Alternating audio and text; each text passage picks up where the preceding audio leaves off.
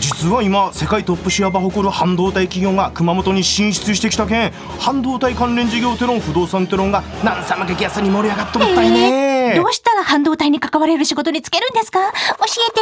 半導体不足先輩。いや俺ん中の半導体が足りとらんみたいな呼び方やめなっせ。熊本の創業大学なら半導体人材を育成する環境が整っとるって話。熊本をもって世界的にも最先端の事業に関われるようになるはず。